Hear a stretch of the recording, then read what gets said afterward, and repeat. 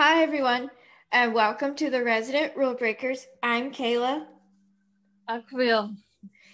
And uh, today's episode that we're going to be discussing is episode 413 of The Resident.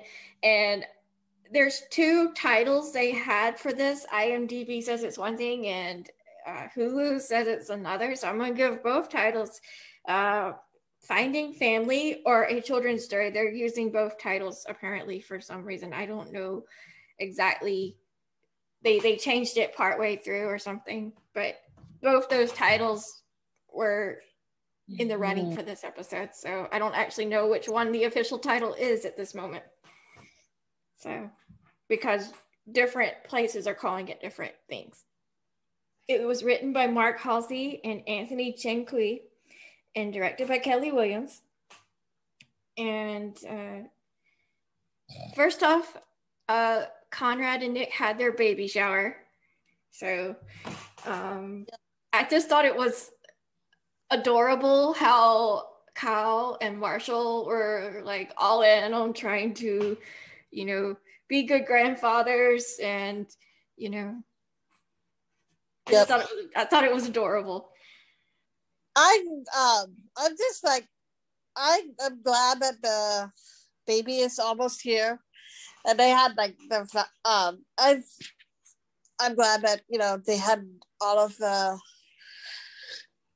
everybody that they were close to at the shower. That was so cute. Um, what else? Like Marshall gave um the grandbaby a stock uh, portfolio. like the baby isn't even born yet, and she's probably richer than me. well, considering she's got a grandfather that's a billionaire, uh, yeah, yeah. But I thought it was funny. Kyle and Marshall were uh, trying to get the the decorations and stuff, and Kyle's like got a bad thing about orange, and some people were laughing about it online uh-huh. But I sat there thinking to myself, I work in an art based field and I can tell you that different colors give different emotions to different people. So I could see, I could see where, you know, a bad experience with a certain color can make you not want to like it anymore. Yeah. So don't don't discount that. Yeah. Yep. Uh, but um, the thing about Billie was she's keeping herself busy through all this because, uh, and I know you're probably going to have to want to say something about this because when I saw it, I just. Uh, later. Yeah, but Billie, um, hey, um, she's keeping herself busy to try to prevent herself from doing blabbing this secret that she has, and eventually she tells Nic uh, Nic actually apparently already knew that Nic, that Billie had been raped, but yes, she didn't she know that Billie had had a baby. So no, I mean, this was like when she was thirteen. Yes, which is I get why Billie is the way she is about this. She doesn't want to relive this horrible experience she went through. And she was 13 and, and she doesn't want to tell this kid that, that he was a rape baby. Why would you want to find that out? How would you? I mean, I, I don't even like. I can't even imagine what that. Like. There's like, um, I've seen several people, several shows have this storyline about like if they had a um you know the the baby because like you know they based on and stuff. But the the child who was a product of rape tries to reach out to the parent but um they didn't know that they were a product of rape. Um i would i i understand billie's side of the thing also but also at the same time, it's like I just wish that she could have just told him. you know, she could have just said, "Look, I can't," because you know, her his last text to her was, "Why aren't you? Why don't you want to talk to me? Why don't you want to see me or whatever?" I just wish that she could have just told him why or something. I don't know. Yeah, I mean, I have a feeling there's more to this story. Yeah, although at the same time, um, like that's I don't want to talk to you because you're a product of rape or whatever. So, is it something that you kind of like, uh, what's that called? Text to the person. That's something that you would say to them face to face. You know what I mean? Yes. That is a face to face conversation. And right now, Nic is the only other person who knows it. And uh, I have a feeling, uh, probably not this next episode. And if we get renewal, I have a feeling it might trail into the next season. But, yeah. um, which by the way, the new renewal has not been announced yet. So. Um, I know, right? Somebody, I like, I don't know if it's gonna I don't know what's going on with a lot of the TV shows are not. It takes so long. But yeah, um, but I just wanted to bring that up. That I have a feeling they they wouldn't have introduced this storyline if there wasn't more to it. Um, yeah. but I thought what Billie did for them for the baby shower was really awesome. Was she had pictures of their mothers and uh, we finally found out the names of their moms. Um, and you mm-hmm. messaged me. Yeah. And it, yeah. Like baby, I I know the baby's names. The baby's yeah, well, Georgianna is um Conrad's mom's name, and Grace is Nic's name, and I said baby's name yeah, Nic's mom's name. And I said the baby's name I bet is gonna be Georgianna Grace. And then the um it's gonna be Gigi, which is Gilmore Girls. Yeah, well, uh Rory's sister's name on Gilmore Girls was Gigi, so uh, yeah. But yeah, it's Georgianna Grace or Grace Georgianna. I actually like the names. I, I wonder if the pictures that like they had on the frame were actually Emily and Nic. I mean Emily and um Matt as kids. Because I was looking at those pics, I was like, is that them? You know what I mean? As kids. But uh, oh. but I think it would be a good because you know the grandmothers are there and you can see the reaction not only from Nic and Conrad but from Marshall and Kyle. Yeah that that's how much this present meant to them, you know. So it will be a good uh, ode to the grandmothers. This, uh, I do think that uh, I am angry that this is the first and only time that we ever got their names.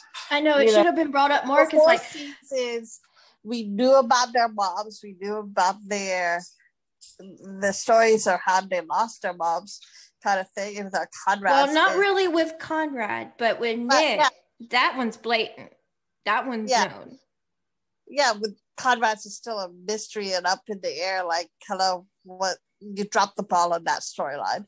you promised us a story about her, but never like gave it to us. So anyway, um, but we never knew their names at all for four seasons.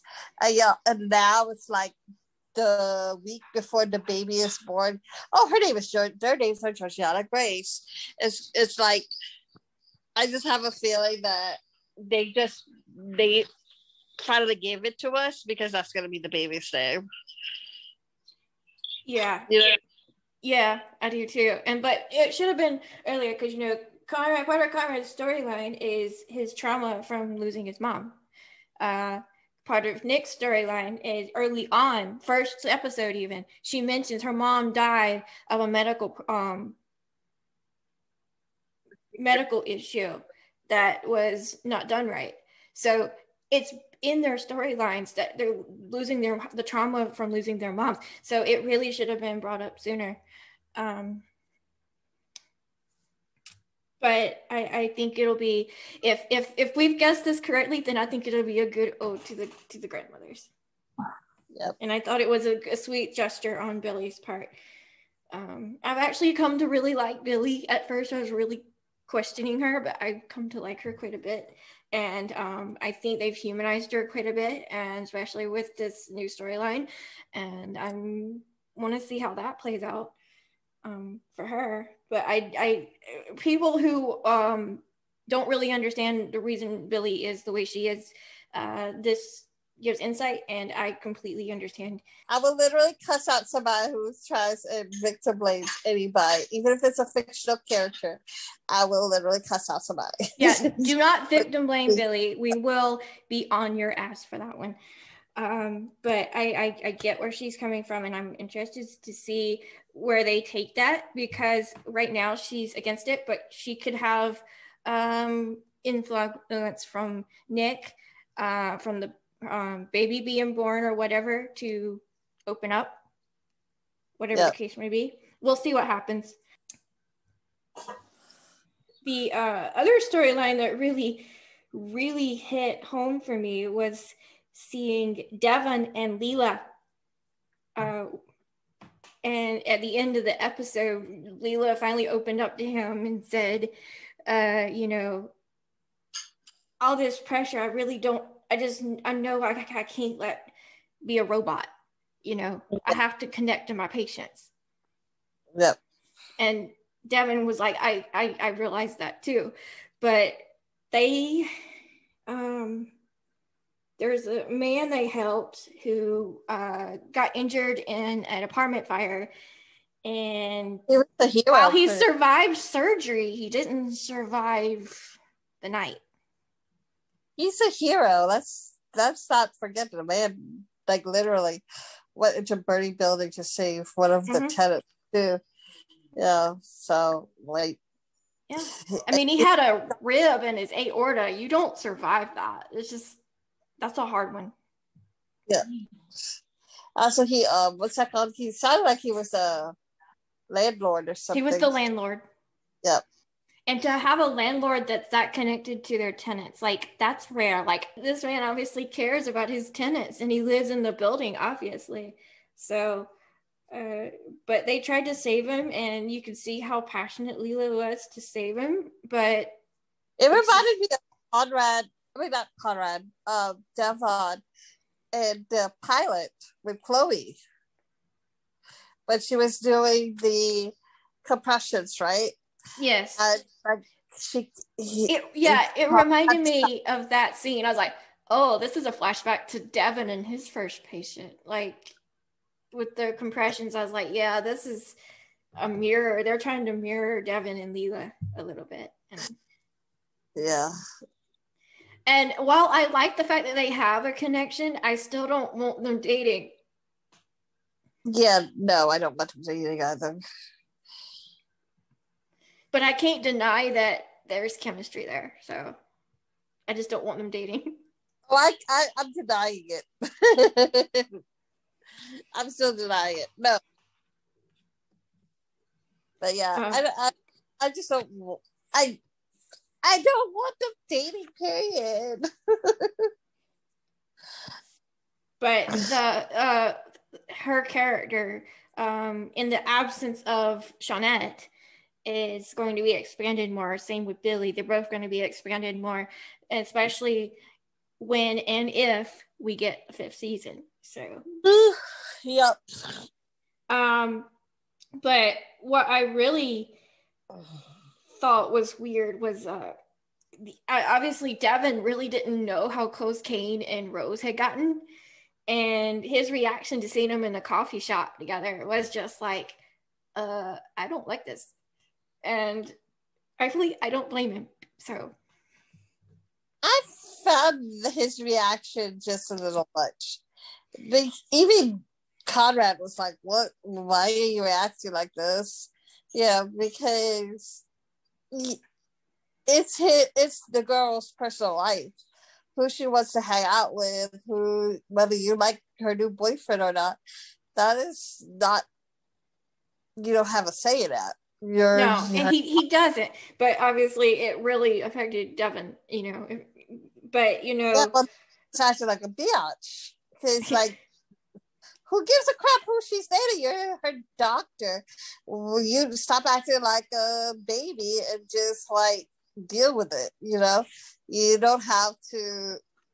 You don't have any right to dictate to. You don't have an opinion. You don't have a right to an opinion on who she hangs out with. You know what I mean?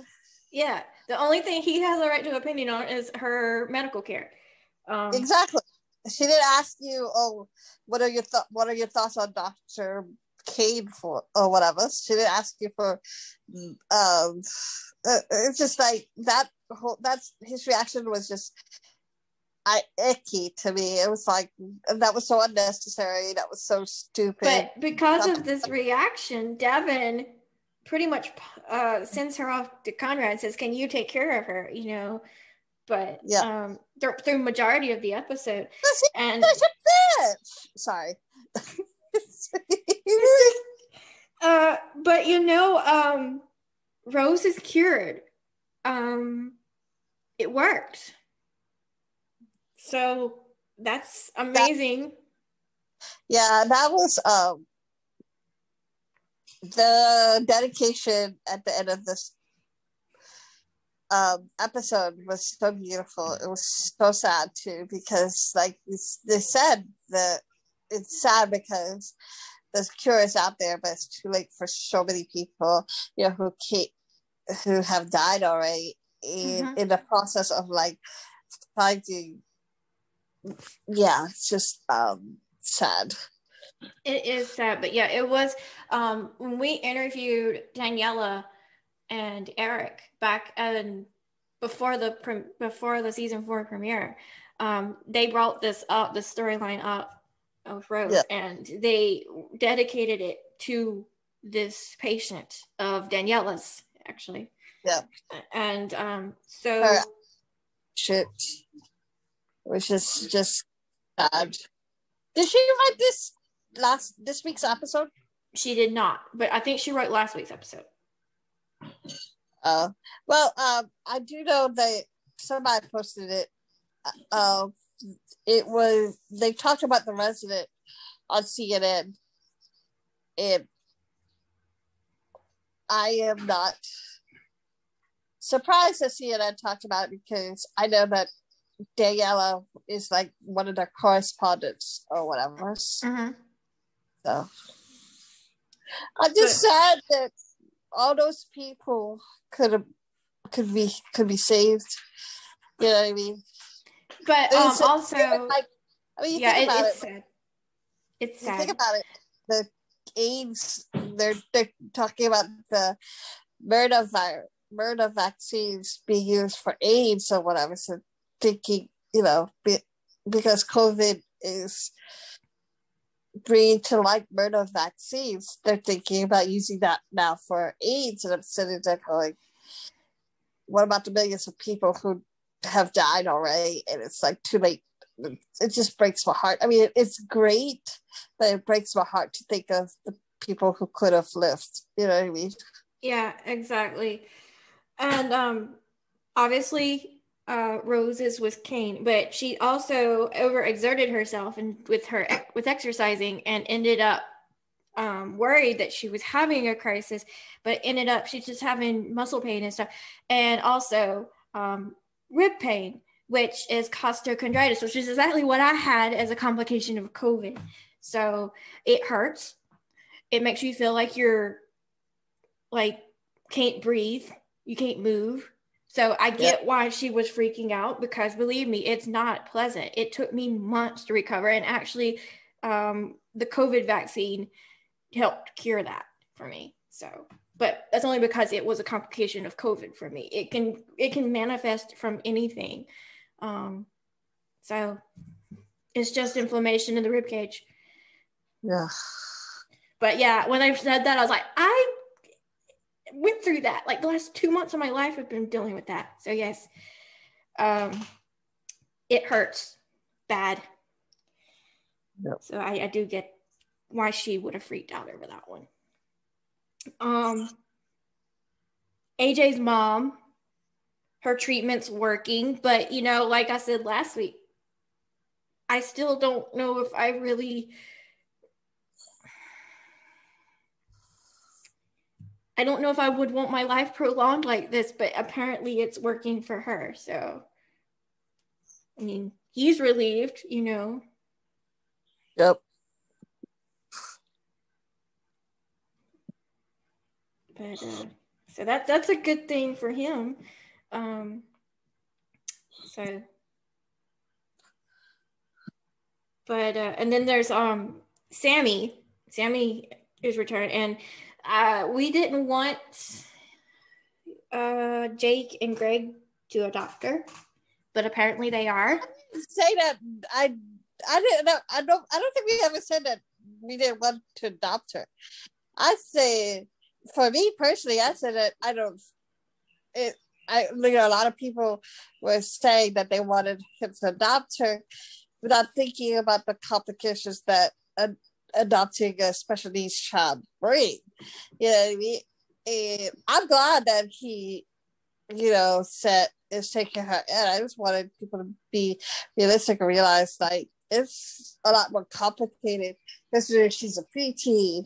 They were expecting a newborn. And add on the health complications or whatever. It is more complicated than just like, you know, Cinderella storyline that people had that oh let, he's just gonna take her in or whatever. See what I mean? Mm-hmm. But um, so let's not paint me as like a villain by saying I don't want them to have a child. No, no, no. I, it's not that I want them to, you know, get a happy ending here, but I'm being realistic on what this ending is. You know, Sammy's got issues. She in these two episodes she's been in, she's had two surgeries. Yeah.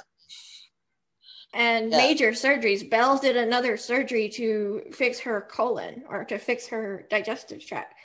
And because she wasn't eating and she got hard. So, yeah. Yeah. But she's finally eating. But um, I thought it was really cute that Bell was trying to bring her something that would not upset her stomach. I really love that. I also love that, like, yeah, it, they brought something that was of culture, um, you know, to the hospital for her because you know she's Chinese. A you know, he brought congee soup, which is like really good Chinese soup. Made by AJ's dad. yeah, and stuff. So it was like it wasn't just like he was, you know, being a good guy or whatever, but he was also respectful of the culture that she was brought brought up in, by bringing food that he, you know, was appropriate for her, kind of thing. I like Yeah. that. I like that. Um, you know, despite the fact that Jake is his former stepson, he's still trying and to I think it seems be, like be that- some type of grandfather figure to this Yeah. kid. Yeah. Yeah. I like. Um, it seems like Jake is now more forgiving of Bell. Like they're like hugging now, and they're Mhm. uh, like- Though, if Bell is this emotionally attached to Sammy, uh, he probably shouldn't be doing surgery on her any longer. yeah. I was saying, I was gonna say that too, but also at the same time, I mean, like that's his grandbaby, and well, can he not play with her as a grandbaby? you know, but And her I like- English is getting better too. So, uh, she's she's learning very quick. yeah, I mean, there had to be a significant um, gap between last week's episode and this week's episode. And it's just this, the developments in this week's episode are just too.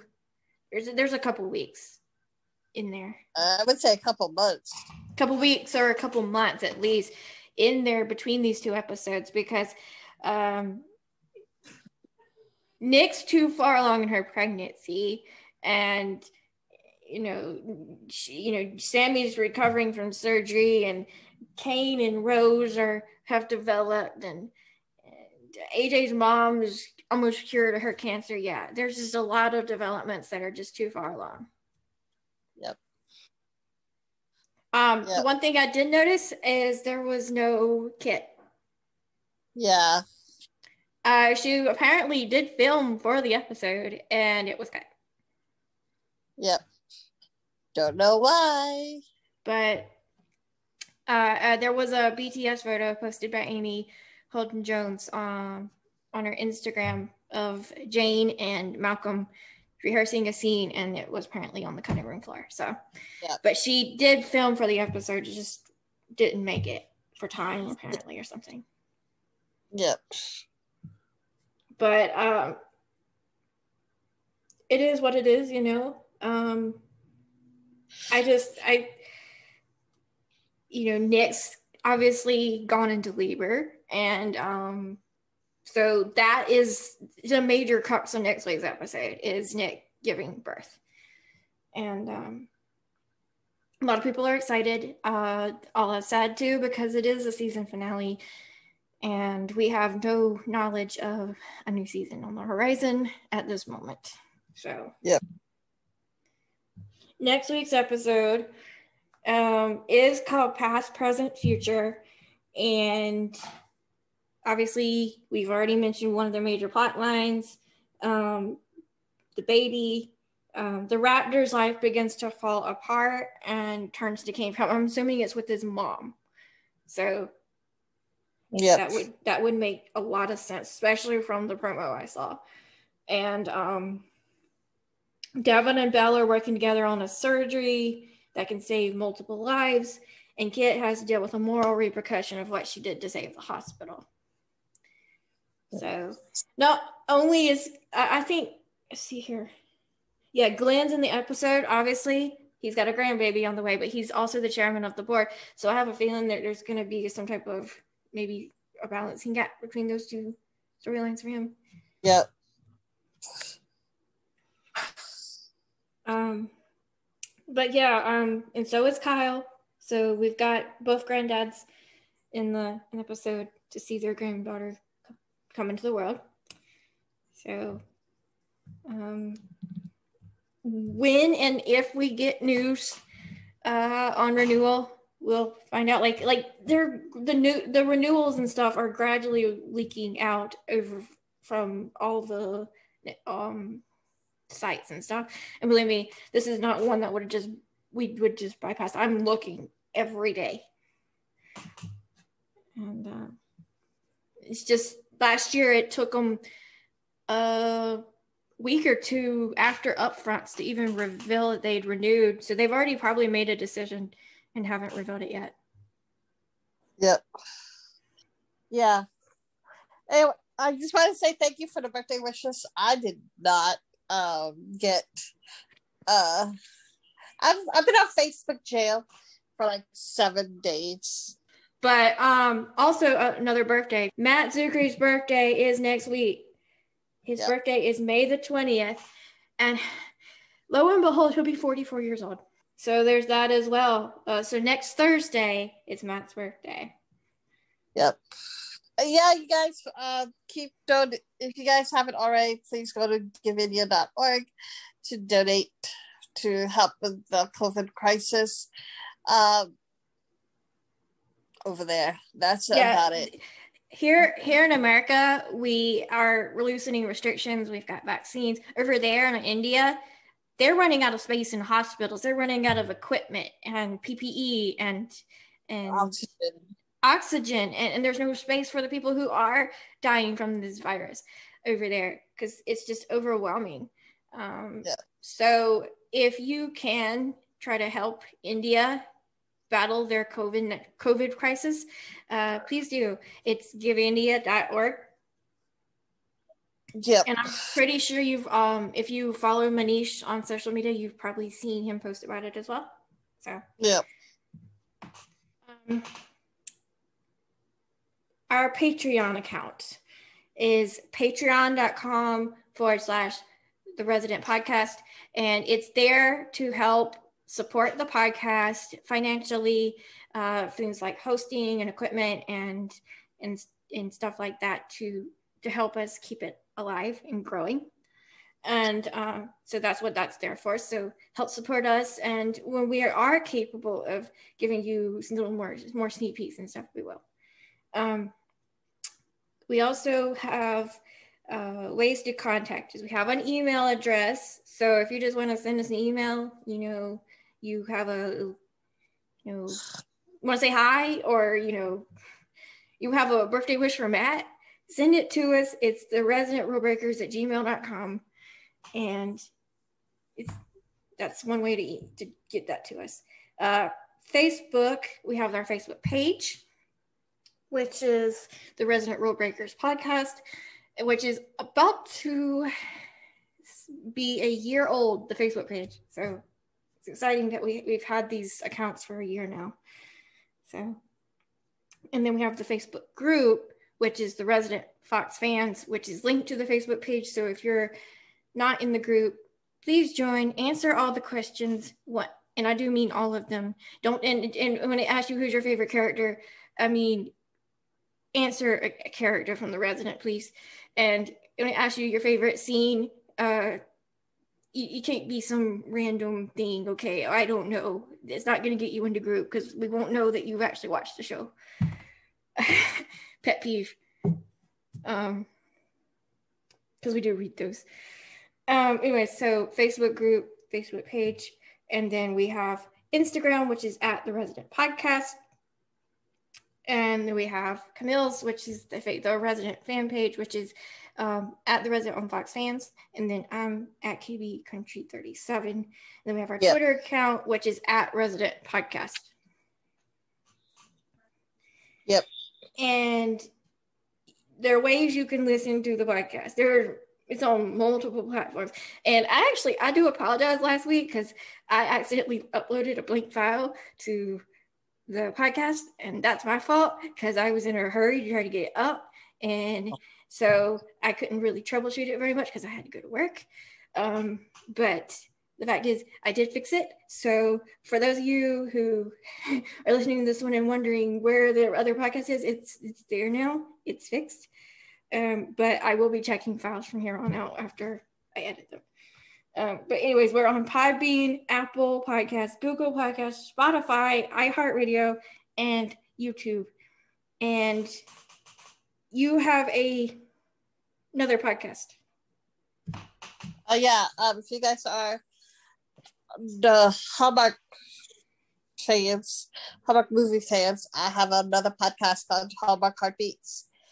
It is all about Hallmark movies. I review Hallmark movies.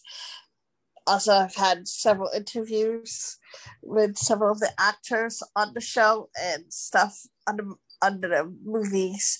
So, uh, follow. You can listen to me on all platforms that Kayla's already listed.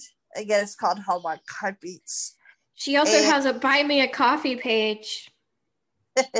yeah, coffee.com slash mark heartbeats. That one is uh, about it's pretty much it's pretty active on there. I post all of the um, unedited interviews onto the Buy Me a Coffee, as well as like extra podcasts on there.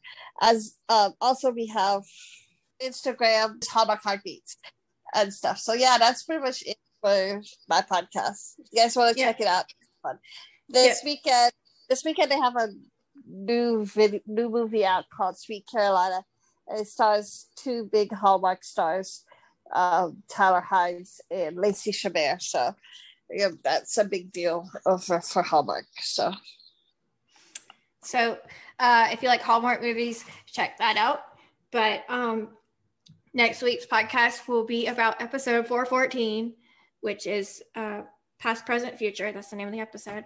And so uh, we will discuss um, the CoNic baby and AJ's mom and you know all this other stuff that's going on in this episode and hopefully hopefully fingers crossed here you can't see me but i know um, just know that i'm crossing my fingers that we'll have renewal news um, going into hopefully a hiatus.